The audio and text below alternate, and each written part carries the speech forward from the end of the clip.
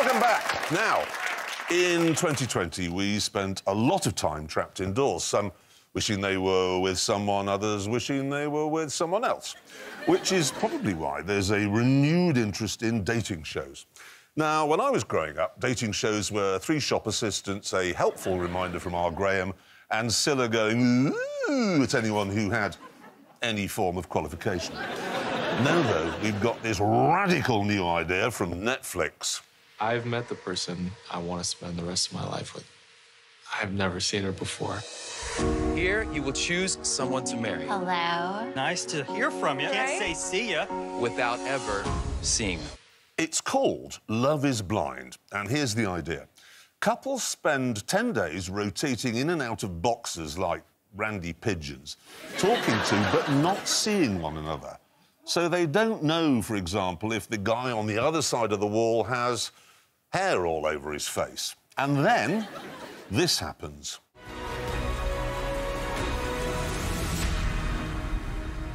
Finally.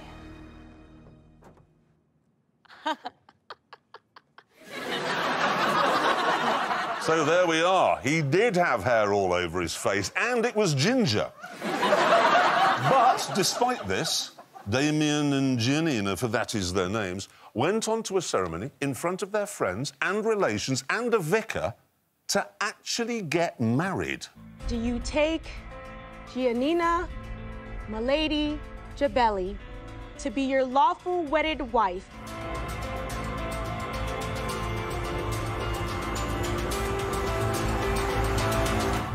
I do not.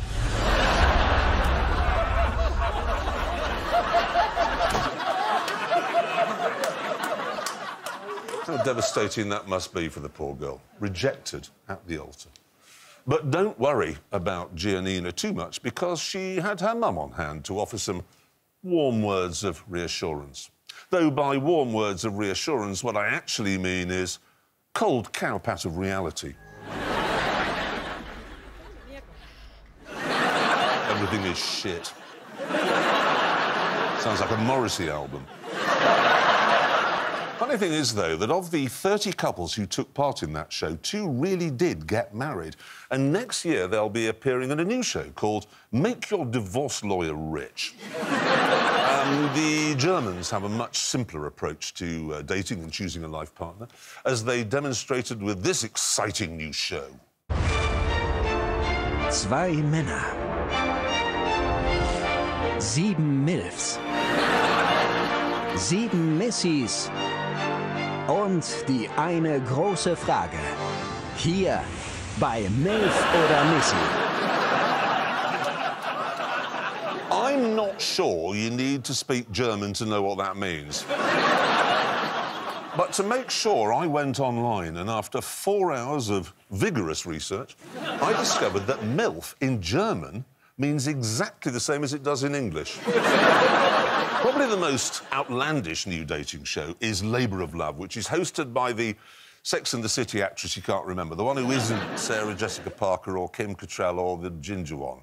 Anyway, there's this one woman, OK, and then there are 15 men, and the winner of the 15 men gets to have a baby with the woman. Not sex, an actual baby. So they all meet up in a house with plastic pillars, ready for what they thought would be an informal meet and greet.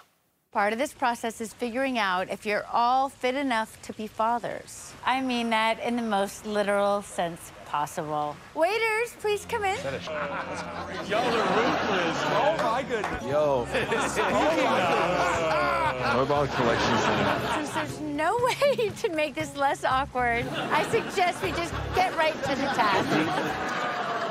No, no, no. Nothing says love more than 15 men in a car park pleasuring themselves in the back of an articulated lorry.